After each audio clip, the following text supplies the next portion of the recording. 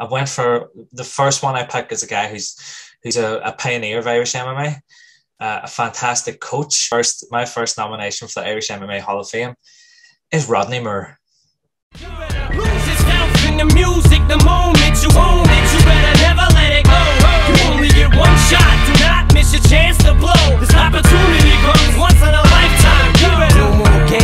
James, what you call rage. Tear this motherfucking roof off like two dogs' cage. I was playing in the beginning, the mood all changed. I've been chewed up and spit out and booed off stage. But I kept rhyming and stepped right in the next cipher.